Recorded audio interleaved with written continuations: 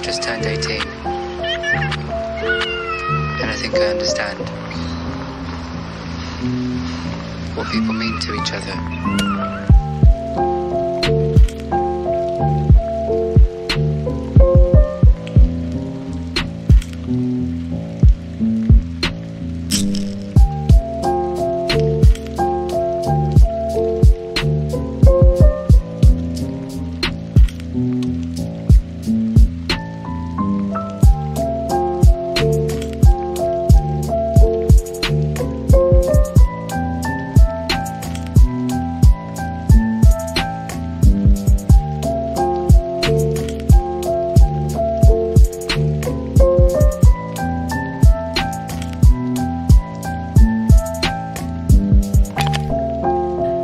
Your father and I, we, well, you come by it honestly, the ugliness inside you.